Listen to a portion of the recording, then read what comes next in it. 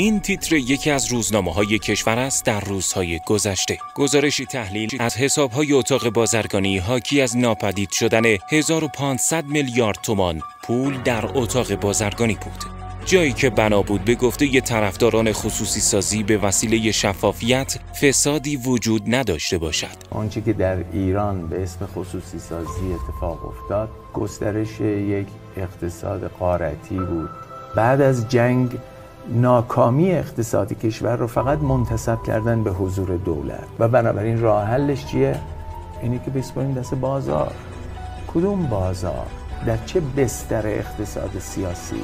کدام نظام قضایی مقتدر و مستقل؟ تمام وعده هایی که به اسم خصوصی سازی در کشور داده شد هیچ کدوم از اینها موفق نبود و هیچ کدوم اینها به نتیجه نرسید همینطور که عرض کردم منجر به گسترش بی سابقه فساد شده خصوصی سازی در ایران اتاق بازرگانی سال 1369 تأسیس شد. هدفش رشد و توسعه اقتصاد کشور در دیگر کشورها بود. نهادی غیر انتفاعی به ظاهر خصوصی که بخشی از اختیارات دولتی از جمله صدور کارت‌های بازرگانی و تنظیمگری را بر عهده دارد و در بیش از 100 نهاد اقتصادی مهم دارای کرسی است. نهادی که دستگاه های نظارتی نمی توانند بر عملکرد آن نظارت کنند اما آنها به راحتی اطلاعات مهم اقتصادی کشور را در دست دارند. صرفا بازرگان ها موظف به حضور در اتاق هستند در حالی که کسب و کارهایی که موظف به حضور در اتاق نیستند و باید حق عضویت رو هم به اتاق بدن هیچ انگیزه پیدا نمی‌کنند که در اتاق وارد بشن. اتاق بازرگانی در حدود 96 نهاد شورا و کمیسیون حکومتی عضویت داره. حضور پررنگ اتاق در نهادهای حاکمیتی تبعات مهمی می‌تونه داشته باشه. یکی از اونها این هست که قاعدتا حضور در جلسات شوراهای مهمی مثل شورای پول و اعتبار با هیئت امنای صندوق توسعه ملی و نظایر این می‌تونه یک اطلاعاتی رو ایجاد بکنه برای اعضای اتاق که اینها در تعاملات تجاری خودشون متأثر از اون تصمیمات هستن. و همچنین این اعضا می‌تونن در جهت منافع شخصی خودشون بر تصمیمات حاکمیتی در واقع تاثیر بذارن. حساسیت روی اتاق بازرگانی از قبل وجود داشت اما انتشار این خبر توجه ها را دوباره معطوف به آن کرد. ماجرا این گونه آغاز شد. برام سوال بود که اتاق بازرگانی که بالاخره گردش مالی خیلی سنگین و بزرگی را هم در دستش هست چرا همیشه در شفافیت عقب هست در شفافیت هیچ حرفی برای گفتن نداره. و جمله اینکه خود اینها همیشه منتقد عدم شفافیت بودن منتقد رانت بودن منتقد فساد بودن. اما خب اینجا ما می‌دیدیم که حداقل های شفافیت که بالاخره انتشار صورت های مالی هست اینها هم این اتاق بازرگانی انجام نمی‌داد. این باعث شد که من از پاییز سال گذشته به این فکر افتادم که کنشگری کنم. همینطور که اتاق بازرگانی می‌خواد کنشگری کنه در مبارزه با فساد. من خیلی به اینها مراجعه کردم تماس هایی رو گرفتم. همیشه با رواتونی اینها در تماس بودم. متاسفانه هیچ همکاری نکردم. گفتن که صورت های مالی رو ما نمی‌تونیم در اختیار شما بذاریم. خب من شروع کردم. صورت های مالی شرکت ها در بالاخره سامانه کدال هست. برای همه عموم مردم ایران قابل دسترس هست. من شروع کردم به یک اعداد عجیب غریبی در این صورت های مالی شرکت ها برخوردم که واقعا انگیزه پیدا کردم که خیلی تلاش کنم با اتاقهای استانها شهرستانها ارتباط گرفتم. با آدم های زیادی من تعامل رو ارتباط گرفتم و ابعاد این فساد میشه گفت فساد رو در این گزارش من آوردم. ورودی های مالی اتاق بازرگانی شامل حق عضویت سالانه، تمدید سالانه کارت بازرگانی، بخشی از سود سالانه اعضا و درآمد دارندگان کارت بازرگانی است، اما دیوان محاسبات حق بررسی منابع و مخارج این واحد اقتصادی را ندارد. در شرایطی که وزارت اقتصاد باید منابع را دریافت و به حساب اتاق بازرگانی واریز می کرد، در سالهای گذشته این منابع مستقیما به حساب شخصی برخی از افراد واریز شده است. طبق ادعای اعضای اتاق بازرگانی این ارقام که باید صرف برطرف کردن مشکلات فعالان اقتصادی می شده مشخص نیست توسط چه کسانی دریافت شده و کجا هزینه می شود. حساب کتاب هایی که من داشتم فقط از چهل شرکت بوده اونم از سه بخشی که شرکت ها فعالان اقتصادی به اتاق های بازرگانی پرداخت می‌کنن من فقط چهار در هزار مالیاتی رو بررسی کردم که به رقم شگفت انگیز 1500 میلیارد تومن رسیدم. رقم درآمدی اتاق بازرگانی که اعلام می شود نیز بسیار تعجب آور است. مثلا با وجود رشد 8 تا 11 برابری سود قولهای اقتصادی ایران طی سالهای 96 تا 99 طبق اطلاعات صورت مالی حسابرسی شده اتاق بازرگانی ادعا می کند که منابع درآمدی آن کاهش یافته است. اتاق بازرگانی در حالی درآمد سال 98 خود را 233 میلیارد تومان اعلام کرده که تنها گروه فولاد مبارکه به عنوان حق عضویت و سهم سود 124 میلیارد تومان به این اتاق پرداخت کرده است. مقایسه این عدد در تعداد چند صد شرکت رقم بالاتری را نشان می‌دهد. 124 و 108 میلیارد تومان این این رقم رو با ارقامی که اتاق میگه به عنوان درآمد شناسایی کرده به مردم به مردم کم اعلام نمی‌کنه به اعضا اعلام می‌کنه این خیلی رقم سنگینی میشه. یک شرکت 53 درصد و در یک سال 41 درصد معادل درآمد اتاق به اتاق پول پرداخت کرده. خب ما صدها قول اقتصادی داریم. هر سال سازمان مدیریت صنعتی ایران 500 شرکت برتر ایران رو اعلام می‌کنه.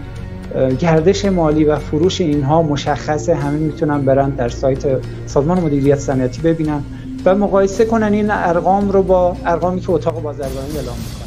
تخلفات مالی زمانی بیشتر می شود که در همان سال 99 که صورت مالی فولاد مبارکه نشان می دهد گروه 108 میلیارد تومان به اتاق بازرگانی پول پرداخت کرده است.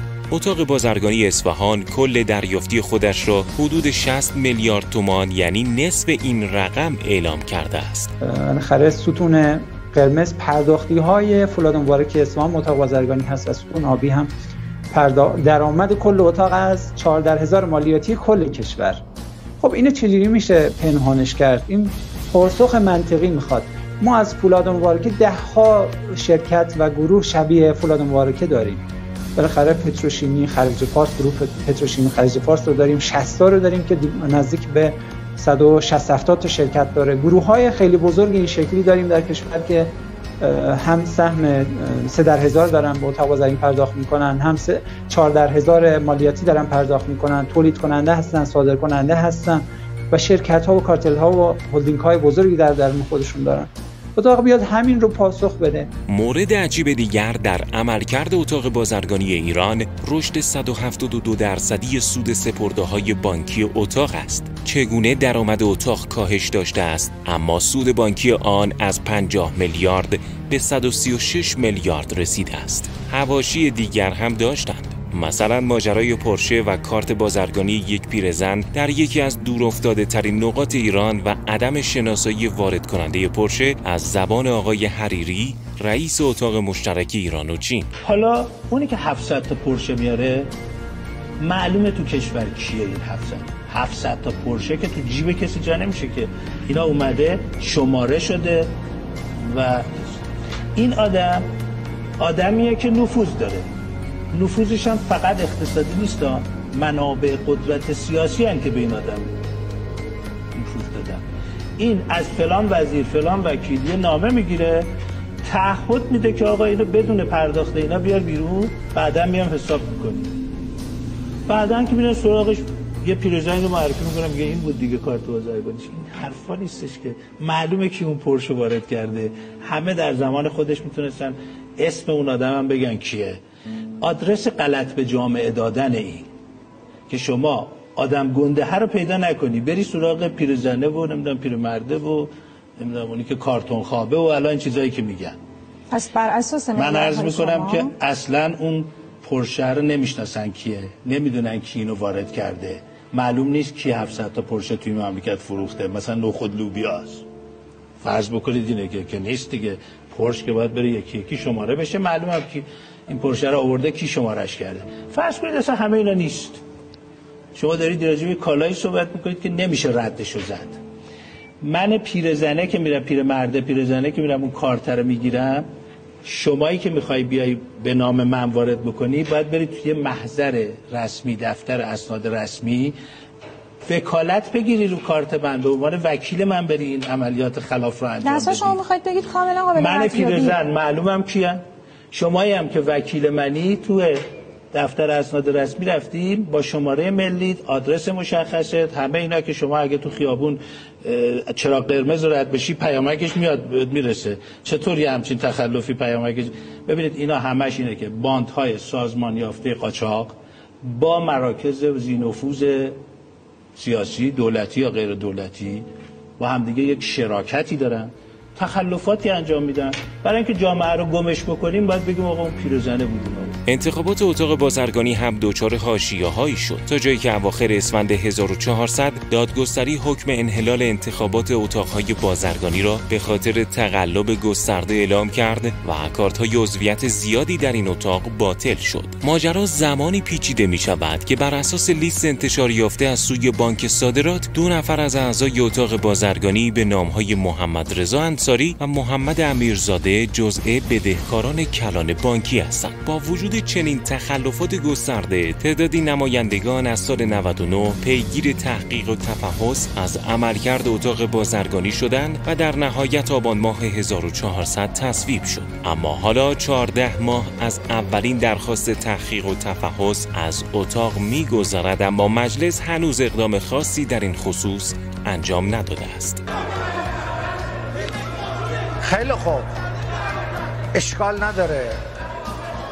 آقا اجازه بدید اجازه بدید. ایشون پاس دفاع شده دفاع هم میشه. دوستان موضوعات من می‌خوام به هم ارتباط ندید.